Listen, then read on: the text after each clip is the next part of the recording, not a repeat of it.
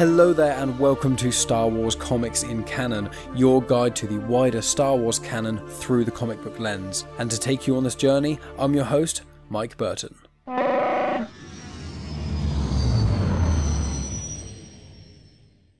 And so brings the 40th episode of Star Wars Comics in Canon. So, thanks guys for listening. Let's get on with the show. So, this week I am carrying on with the main run of Star Wars comics. However, this one's a little bit different because I'm doing five of the main run of Star Wars and then one of the Star Wars annuals. And until I did this show and had to research all of the Star Wars comics, I didn't even realize that Star Wars did the annuals. Essentially, when series run for over a year, they release once a year this sort of one-off special story. There's a couple of Vader ones, there's a couple of Aphra ones, and there's a couple of Star Wars ones. Well, I say a couple, obviously there are more than two because this is the third Star Wars annual. Um, but I won't be tackling that till the end. But all of the stories within this podcast are all in the same trade paperback, which is volume six, Out Among the Stars. And for clarity, the reason it's a little bit different is because instead of each of these being like one arc, which is what I normally tackle, these are all individual stories. So each comic is basically a pair of people going off and doing their own things generally. And I will say there are, before doing this, I was a bit skeptical and I was ah, this isn't going to be the best one because often sort of anthology one off stories can be a bit weak, um, especially in Star Wars. Unfortunately, I just generally prefer sort of longer story arcs when there's a bit more depth to them and things. But a couple of these are genuinely really, really good. I would really recommend anyone just checks out the issue 36, which is with R2D2. It's just him killing loads of stormtroopers, and it's amazing. Um, but I'll get onto that in a second. So uh, let's tackle the other stuff first. So issues 33 to 37 are all written by Jason Aaron. They are all drawn, well, the artist for all of them is Salvador Larroca, and the colorist for all of them is Edgar Delgado. Issue number 33 was released in July 2017, issue 37 was released October 2017, and the trade paperback collection of all of them was released in December 2017. And just for clarity, even though these stories are sort of anthology like, going forward, the main run of Star Wars comics goes back into the arc sort of format. And in about a month's time, when I tackle the next batch of Star Wars comics, it will be an arc specifically about Rogue One. It's going to be called The Ashes of Jedha, and some familiar faces pop up there. So I just want to clarify this isn't how the next 40 issues of the main run of Star Wars comics are going to be. This is just kind of like a special one, essentially. All of the stories in the main run of Star Wars comics are set between A New Hope and Empire Strikes Back. The ones that I'm tackling here are around the tail end of the first year after A New Hope, and there are about three years between A New Hope and Empire Strikes Back, so that's generally where they are. It is also worth mentioning that these are the last comics that are written by Jason Aaron in the main run of Star Wars. It soon gets taken over by Kieran Gillen, and Kieran Gillen is the one who did the first run of Vader comics, which I've tackled all of those on this show, as well as the first 19 Aphra comics, which are currently ongoing on the show. And the last little thing before I get started, I would recommend you check out episode 13 of Star Wars Comics and Canon if you haven't already, or alternatively, you should read the second volume of the main run of Star Wars. It's called Showdown on Smuggler's Moon, just because there's a few things in there that kind of reoccur in here. So, yeah, you don't need to, it's not essential, but it probably makes it a little bit better for reading slash listening. So, with that all in mind, let's get started. So, first up is issue number 33. It is titled Rebels in the Wild, and here's the title crawl. It is a time of turmoil for the galaxy. While the evil Galactic Empire remains strong, the Rebel Alliance continues to fight for freedom. Luke Skywalker struggles with his destiny. He can feel the Force, but lacks the training to become a Jedi Knight. When Dr. Aphra approaches him with an artifact containing the consciousness of an ancient Jedi, Luke accompanies her to the Citadel of Ktath'atn. Overcome with telepathic parasites, Luke is able to overcome their control and free the people of the Citadel, along with the rebellion leader, Princess Leia. Despite this, danger still lurks as the surviving parasites aren't the only ones hunting for Luke and Leia. Now, for clarity, what that is referencing is the Screaming Citadel crossover, which was between the Doctor Aphra comics and the main run Star Wars comics, and this is the story set straight after that. And for clarity, I tackled that on episode 36 of Star Wars Comics in Canon, and it's a pretty cool one. You, it's a really cool story I would recommend. So, shooting ahead then, so Leia and Luke crash land on this sort of water world, and they seem to be there for about three weeks. They hunt this being called the Spine Shark, which I've taken a photo of. You would see on Instagram things. Uh, they make a fire and they lay down and look at the stars together.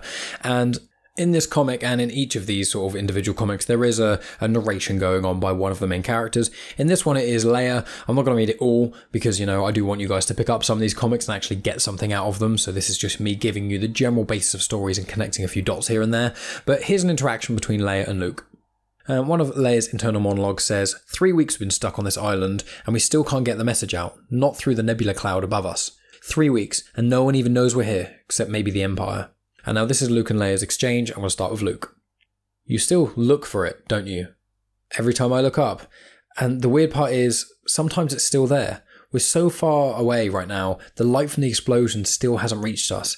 It's hard not to feel like if I just fly towards that spot, it'll still be there. How'd you learn all this stuff growing up on Alderaan? How to hunt and survive in the woods? I mean, no offense, I mean, I picture a princess living in a big castle her whole life. You're not wrong. I ran away for the first time when I was nine years old. I was worried my parents were secretly planning to marry me off to some prince I'd never laid eyes on before, so I ran off when I was a little kid and hid in the woods. It took the palace guards a week to track me down. Best week of my life. I want to read that part out for two reasons. The first one and the main one is because they're talking obviously about Alderaan blowing up from A New Hope, and it is just it's a real nice and quite upsetting thought to think that obviously Alderaan blew up and there's so many light years away. You look up and you can still kind of see it.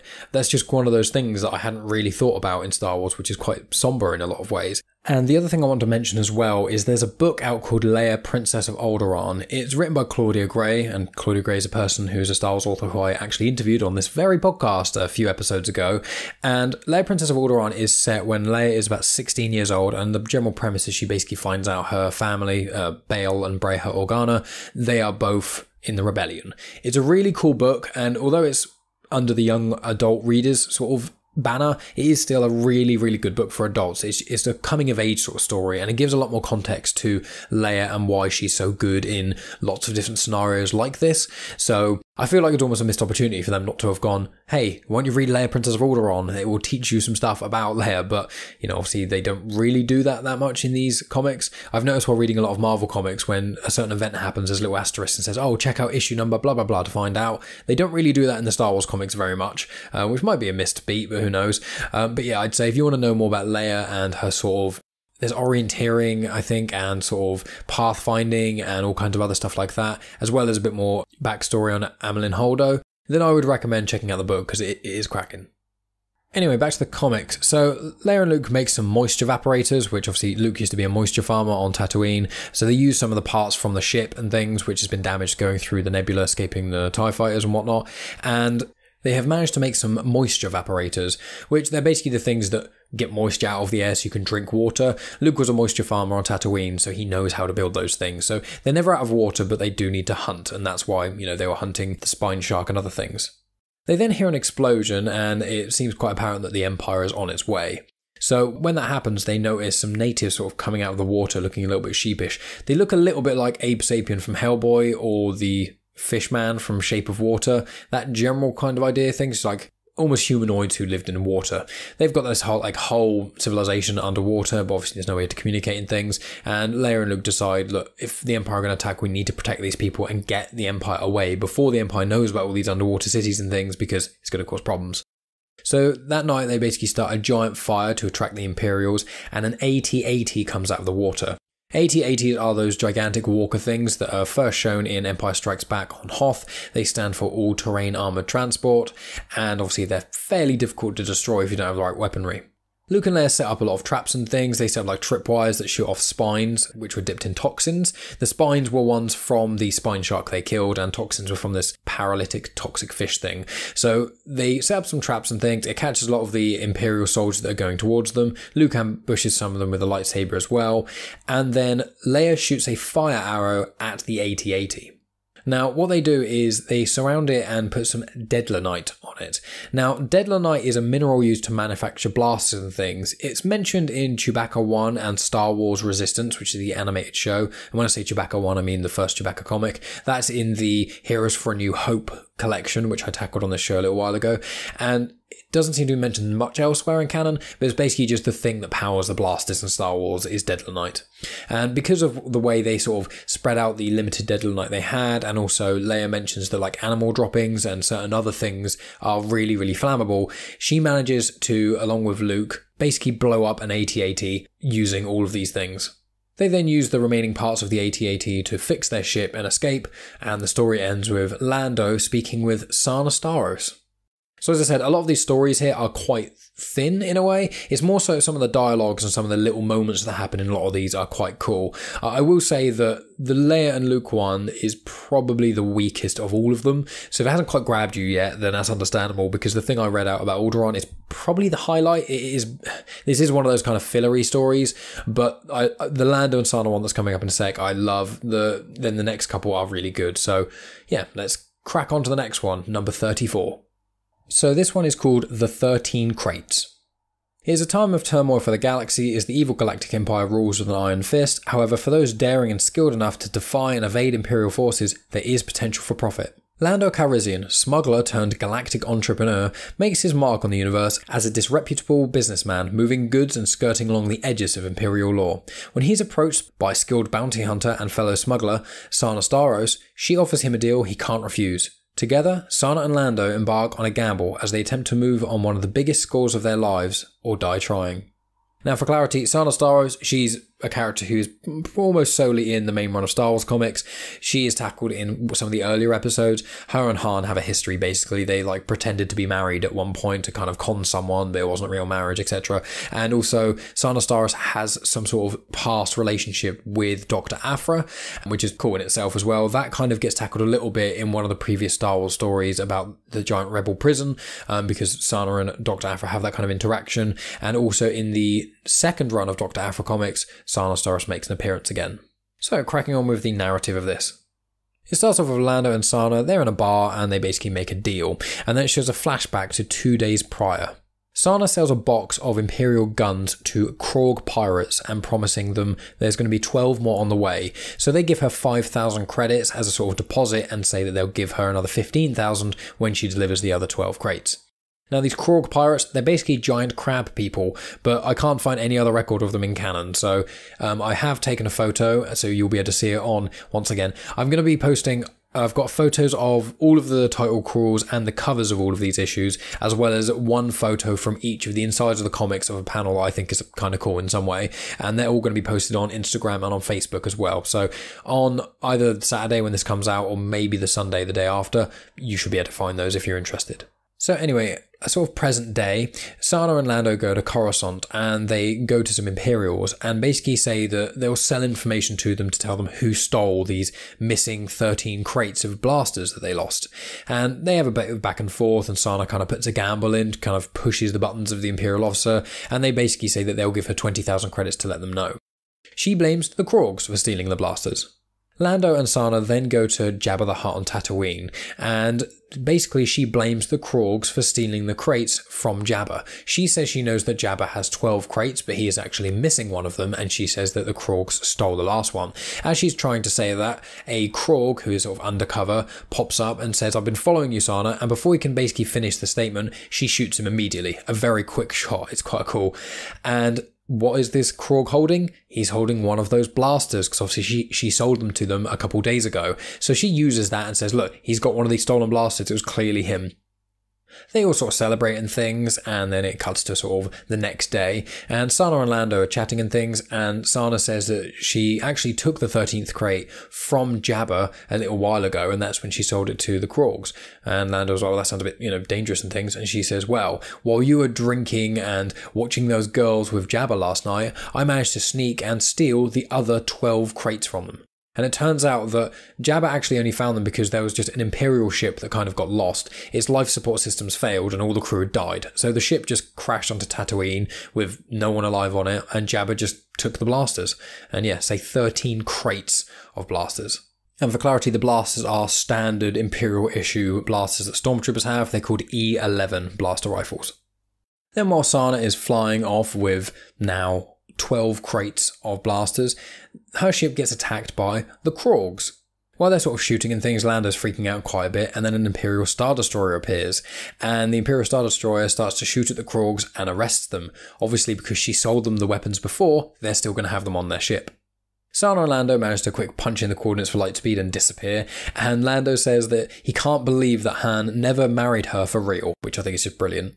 Then Sana says that obviously she paid Lando, and the only other thing Lando requested was to have date and a dinner. So they sit down to have dinner at this place that Sana kind of knows from her past. And Lando starts to eat what he's been given and says, This is one of the worst things I've ever eaten in my life. And so he says, Look, I'll just take the money and we can forget about this dinner date. And then he kisses her on the hand and leaves. After he leaves, the bartender comes over and speaks to Sana like they're familiar and things. And she says, Right, you can get rid of this food now. You can put it back in the garbage where you took it out from and bring over some real food. So they served up Lando stuff that had been thrown away, which is probably why it tasted so bad, which is just brilliant, just so she could avoid having a dinner date with Lando Calrissian. And then in the bar, the last sort of panels of Sana's story is she can overhear a few people chatting and things, and one of them says, Do you hear about all those credits that someone left for a hospital, like down the road and things? Oh, I can't believe that happened. Yeah, that that's definitely couldn't have happened. Who would leave that amount of credits for just a simple hospital? And it is basically Sana grew up around those parts and things, and she grew up poor. So she understands that when there's certain places that need it, she has kind of got that good moral code, and that's where that comic ends. Apart from there's little preview of the next comic, which is with Han Solo. So, issue number 35 is called The Hutt Run. And you'll be able to tell that the first little paragraph of a lot of these crawls is basically the same thing, so I'm just going to start skipping them, otherwise, I'll be repeating myself loads. So, Legendary smuggler and all round scoundrel Han Solo was roped into the rebellion after a simple charter trip taken to pay off his debt to the notorious crime lord Jabba the Hutt turned into rescuing the rebellion leader, Princess Leia, from the Death Star. Since then, Han Solo and his Wookiee co-pilot Chewbacca have performed odd jobs and miraculous feats alike in order to keep their friends alive and the rebellion running, usually to the chagrin of everyone involved. So I would say this one is probably my favorite comic of all of the ones I'm tackling in this episode. The next one with R2D2 is brilliant just because watching R2D2 kill loads of stormtroopers is just amazing. But this one I think has probably got the best story and the best consistent interesting parts to it. And this has got Han Solo's sort of narrative to it. So I'm going to read a couple of things of Han Solo's narrative and then he's going to be having a conversation with Mon Mothma.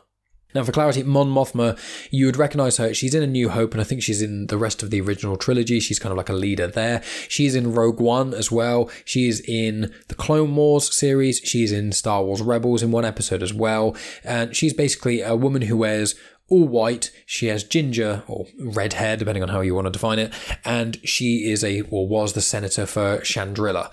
And her and Leia are basically the two main people who started the rebellion. Well, Leia's father, Bail Organa, and Mon Mothma are the two main people who started the rebellion. And then in the films that we see, when the rebellion is kind of ongoing, Mon Mothma is more sort of the organizational side, while Leia is more of the hands-on front of the battlefield sort of side. Um, and you should be able to recognize her. She's quite a prominent character, and she's very important. She also appears in the that Princess Leia book I mentioned, Leia, Princess of Alderaan. She's in that a little bit as well, and you get to see her first interactions with Leia, so that's really cool too.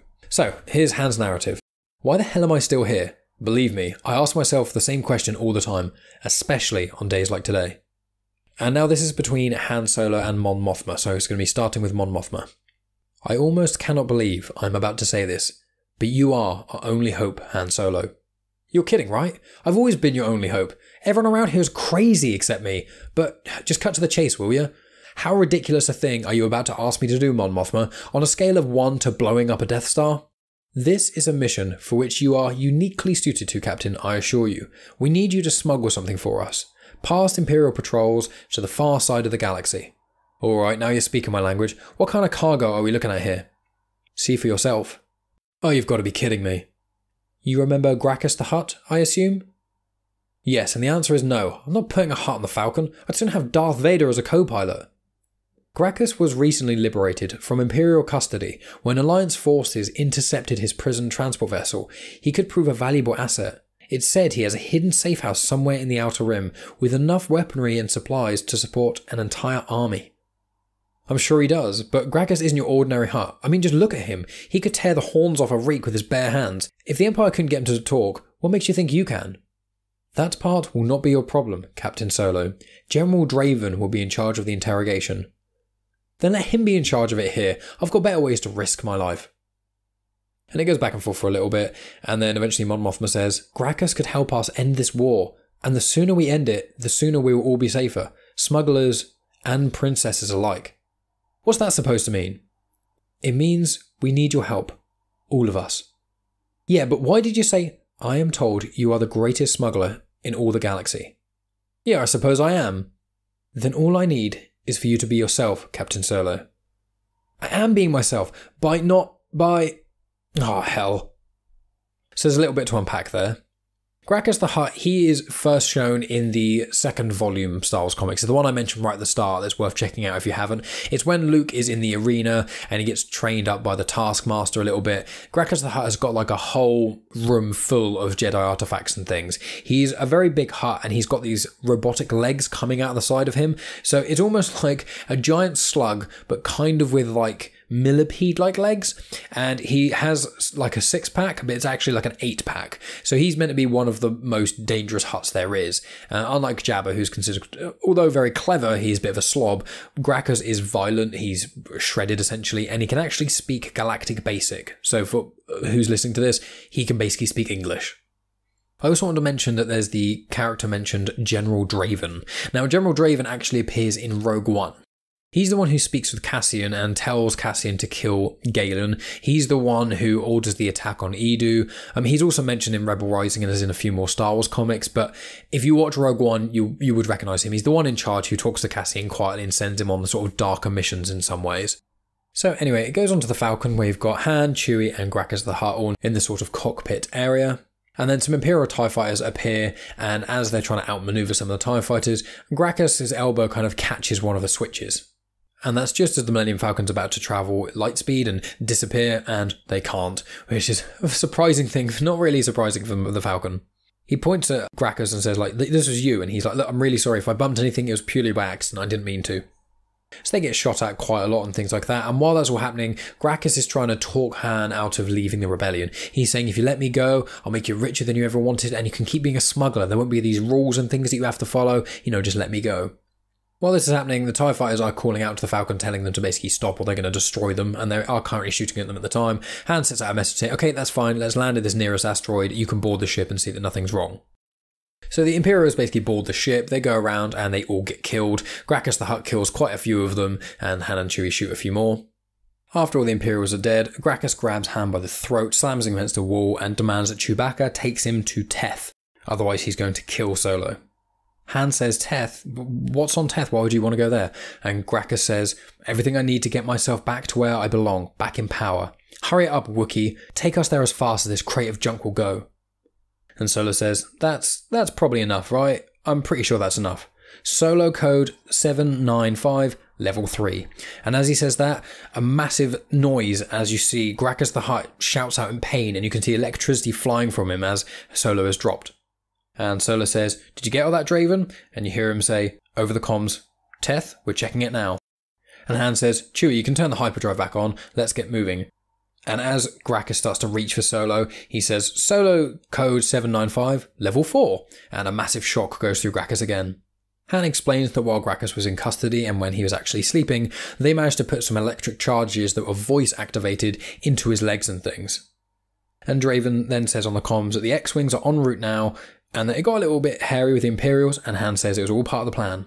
And Grakkus keeps sort of struggling and trying to threaten Han, and each time he does, he says solo code 795 and slowly increases the level, and you keep hearing Grakkus in the background getting shocked. And Han says that the one main weakness the Hutts have is that they're arrogant.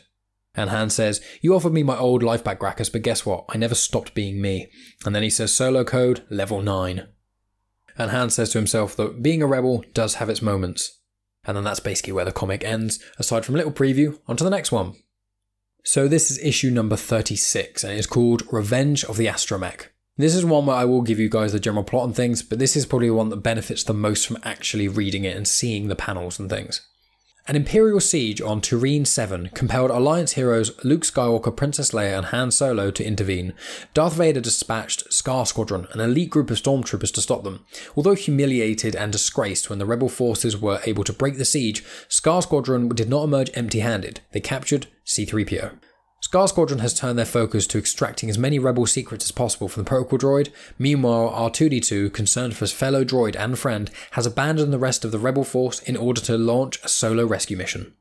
Now, for clarity, it was in one of the previous Star Wars stories, so I think it was just before the Screaming Citadel. It might be just at the end of it, but I think it might be just at the start. Uh, essentially, uh, yeah, when C3PO was taken away, R2D2 stole an X Wing to go by himself to go and find him. It's also confirmed in this comic that C3PO basically doesn't have any Rebel secrets. He doesn't really know anything important that the Rebels know or anything like that. I mean, R2D2 does. R2D2 records almost everything he's been involved with, but obviously people just think he's a little astromech and doesn't really know much because astromechs generally get updated quite frequently and wiped and that sort of thing. But obviously, that R2D2 hasn't had an update basically ever. So R2-2 is flying the X-Wing and it goes near the Star Destroyer and powers down. It gets picked up by the Star Destroyer, which is called the Infiltrator, and Darth Vader is on board. R2-D2 is pulled out the X-Wing because he's inactive, and he takes out an entire squad of stormtroopers with his electro prod and a lot of other things. He plugs into the Star Destroyer and then basically tricks the troopers to shoot each other because he can access the mainframe and things, which is something that a lot of astromechs shouldn't really be able to do. But because R2 is basically a legend and he's been in the game for so long, he can hack into almost anything. So he does that and he starts giving false information to certain parts who are like the command center of the Star Destroyer. So some troopers think in one place there's like this killer droid destroying everyone, and then R2 sends the other troopers to the same location. There's like smoke and things from all the fire going on and a lot of the troopers just shoot each other. R2 also activates lots of internal defenses, including fire, ejection, the garbage disposal, which is obviously the famous scene from A New Hope when they fall in there uh, after they rescue Princess Leia. And so it's just fun little nods and stuff like that. Then R2D2 saves 3PO and is mentioned by 3PO that Chewie actually upgraded his weapons, but if R2D2 uses them too much, it might drain his power too much, but that would explain how R2 has managed to take out so many of the stormtroopers. R2 flies the X Wing out, and although there's no signs of life on the ship, they're still trying to shoot it at the Star Destroyer and they can't quite hit it. So Vader gets in his TIE fighter and goes out. Vader does kill the captain of the ship for being incompetent before he enters his TIE fighter in a standard Vader fashion, and then, yeah, he starts to go after R2D2. Not knowing who's in the ship, he just knows it's a droid. And, and one thing Vader says is, to quote him, I sense no life aboard that ship. It is a droid pilot, but a skilled one. He has learned well from someone, but not well enough. And just for clarity, in the Clone Wars animated series, R2D2 is with Anakin Skywalker almost the whole time. So obviously, R2D2 learnt to fly the X Wing like Anakin Skywalker, which is quite, once again, it's one of those cool little nods in this comic that I appreciate.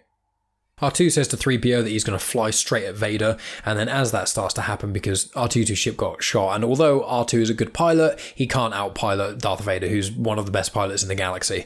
And so the ship takes a little bit of damage, and then in comes Han, Luke, and Sana in their own ships and things. They come by, basically shoot Vader. Han makes some sort of comment saying it never gets old, and then they all zoom off into hyperspace together.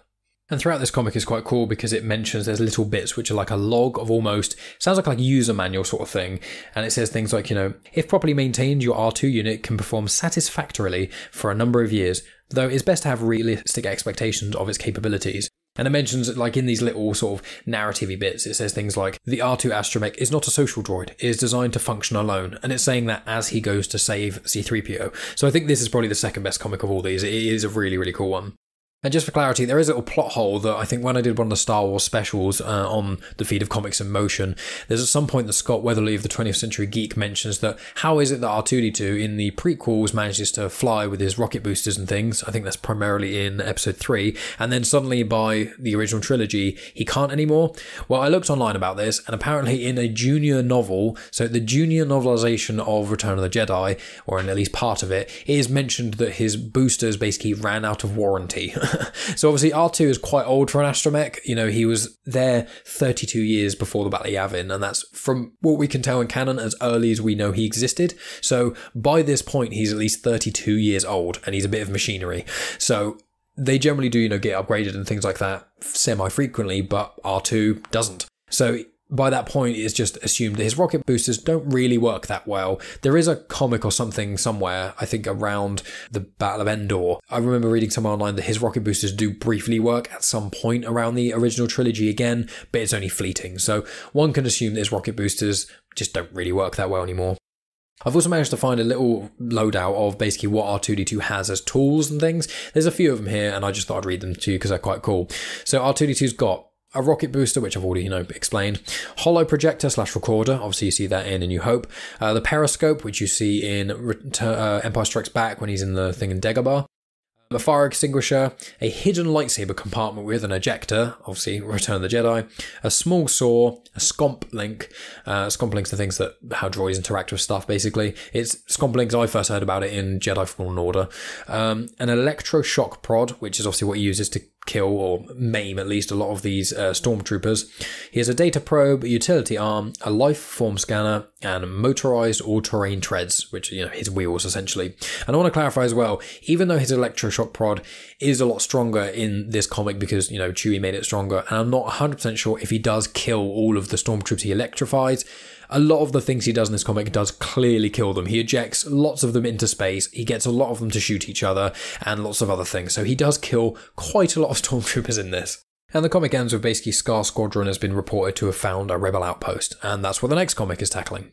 So, this next comic, this is issue number 37. It is called Imperial Pride, and once again, I'm going to read out the title crawl.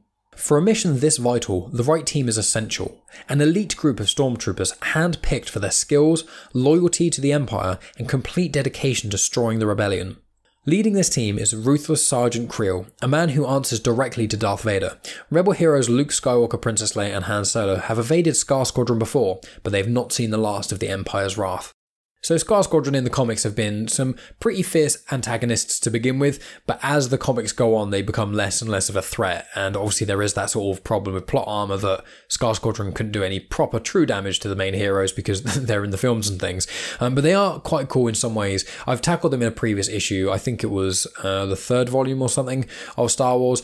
But essentially in volume two that I mentioned when you meet Grakkus the Hutt, when Luke is getting trained by the Taskmaster, the Taskmaster is Sergeant Kreel undercover. He's a stormtrooper who has a lightsaber, essentially.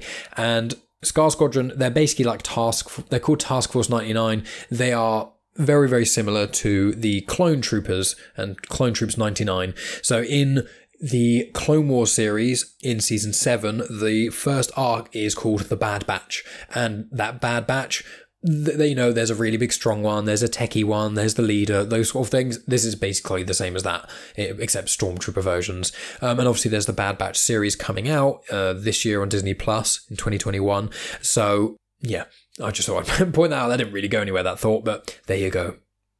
So the comic starts with Kreel trying to use his lightsaber and deflect against some of these training droids, which are the ones that you see Luke train against in A New Hope, the sort of floating balls and shoot things. He tries to do it and he doesn't really do a great job, and Vader says that he's too slow and cumbersome. And this is an exchange between Vader and Sergeant Kreel. You are too slow, too cumbersome, too much of a stormtrooper. Try where you might, Sergeant Kreel, but you will never be a Sith. With all due respect, Lord Vader, I'm not asking to be. It wasn't the Sith who saved me from dying in the fighting pits of Chagar 9, it was the 501st. I'm a trooper to the core. Sir. Clarity, the 501st Legion are meant to be one of the most elite legions of the Stormtroopers. They are Darth Vader's personal legion of stormtroopers, but the 501st Legion was also Anakin Skywalker's legion of clone troopers in the Clone Wars, and Rex was the sort of main in command aside from Skywalker in the 501st Legion. If anyone's played the Legends games, because it's weird calling them Legends games, but Star Wars Battlefront 2 on the PlayStation 2 and I think on the Xbox, the 501st were quite prominent in that and the 501st Legion are actually they were created because of there was actually fans of Star Wars um, that did it. But I'm not going to delve into that hugely. But the 501st Legion is a fairly well-known legion of both clone troopers, and then when the Galactic Empire became a thing, there was then a Stormtrooper Legion of the 501st, and both were basically Anakin slash Darth Vader's personal legion. While Kreel and Vader are talking, um, basically Vader says you've got your one last chance, and Kreel says that if he fails this, he will personally kill all of his own troops himself, his own squad, before killing himself, which is pretty dark.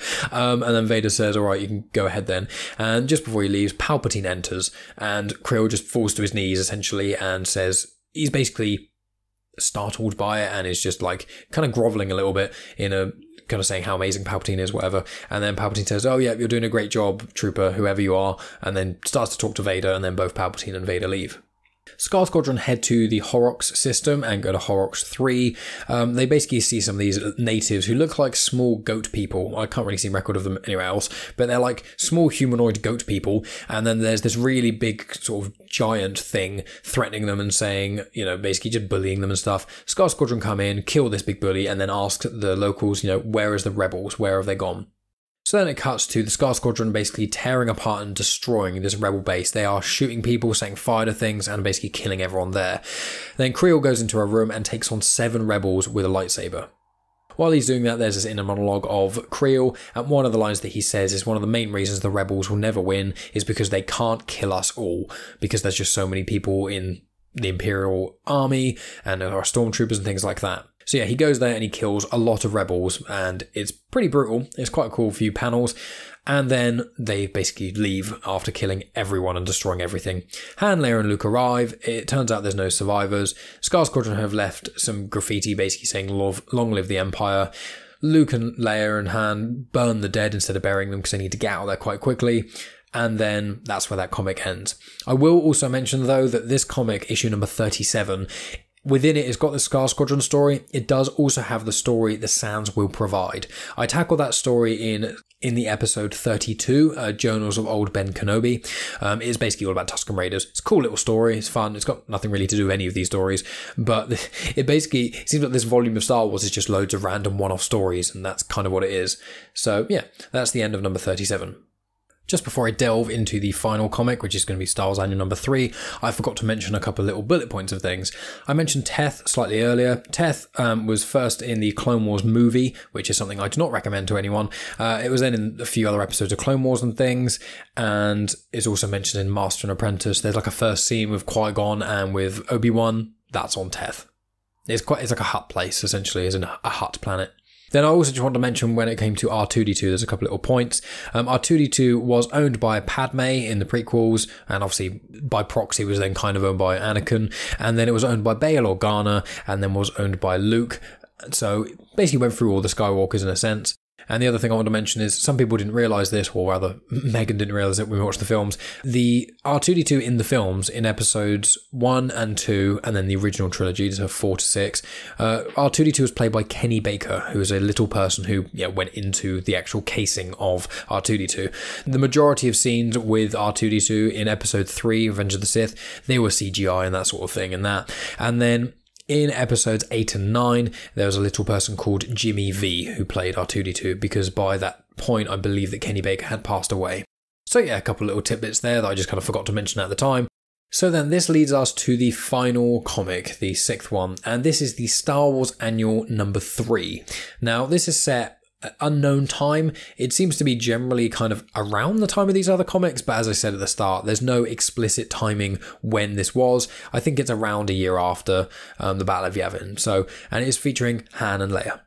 It's also worth mentioning that the Star Wars Annual number 3 is written by Jason Latour, and Michael Walsh is the artist and the colorist.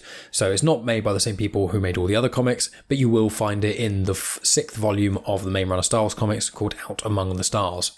And you'll know which one it is because the cover of it is the same cover as the R2D2 comic, which is R2D2 in a corridor with loads of passed out stormtroopers. So, here is the title crawl.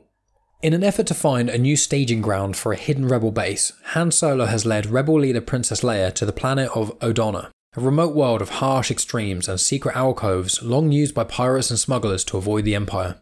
But as their mission stretches on, Han and Leia find themselves cut off from their allies and lost in the caves of Odana as a massive ice storm approaches. Now, for clarity, I thought I recognised the planet of Odana. Uh, I couldn't find any record of it elsewhere in canon, so clearly I'm imagining it, or it just sounds like other places. Anyway, let's get on to the narrative of this final story. So, it starts off with Han and Leia being chased out of this cave by this sort of big monster.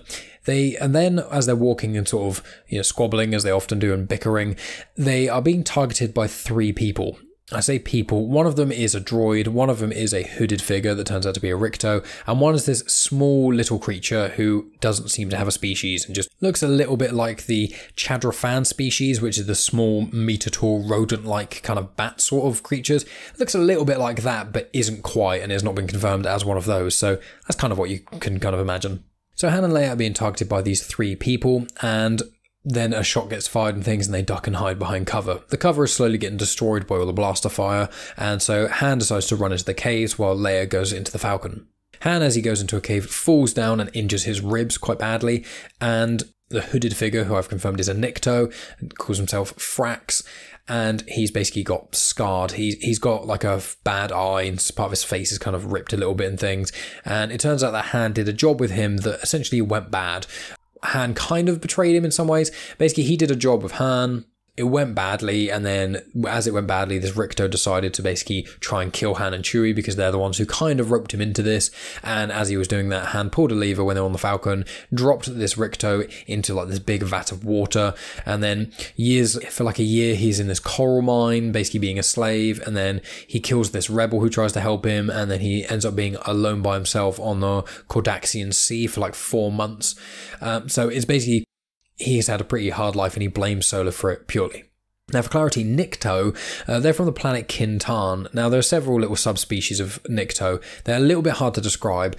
They are humanoid. They've got fairly flat faces. They've kind of got horns coming out the back of their sort of jaws in a way. They are of different colours. There's generally red ones, green ones, and then sort of greyish sort of ones as well. The one that I know most well is one called Neeku Vozo, and Neeku is a sort of bumbling character in the Star Wars Resistance series, and in the first one of the first seasons of the Clone Wars, there's a Jedi Master called Ima-Gun Di. Um, in fact, it's in the supply lines episode and he gets killed. Nikto are found on the galaxy quite a lot. There's several of them all around and there's different subspecies. Some are from the mountains, some are just different colors and things. But you would see them quite a lot in Star Wars, but they don't have a nose. They've got fairly big eyes, mouths without lips and kind of scaly-ish in the face and then yeah kind of small horns coming out the sort of the back of their jaws what you're imagining probably looks nothing like how i've described them but anyway moving on so this Nikto, after going through all that sort of terrible stuff that he blames Han for, he manages to get this sort of valuable crystal thing. He trades it to the droid and that small humanoid thing to basically get revenge on Solo. While Leia's on the ship, she kind of hatches this plan, grabs a few things, and then leaves.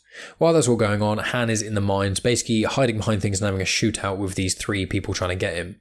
Leia comes down and she manages to go into the sort of mine cave systems through a different entrance because Han said they're all interconnected. So she kind of tries to go in there and go a different route.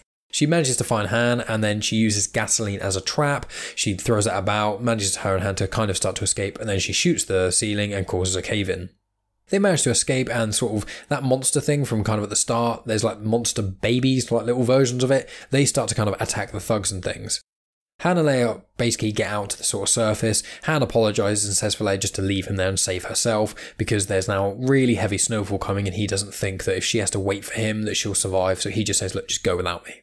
While that's happening, Frax and his allies manage to sort of escape those weird little monster things, and then they go, "Look, this is too much. You can keep well that gem thing. We don't want payment anymore. We're breaking the deal off. We're gonna, we're just gonna go." Frax doesn't like that very much, so he shoots them both and then goes after Solo and Leia. I also realize I keep swapping between Solo and Han. Sorry about that. you know what I mean.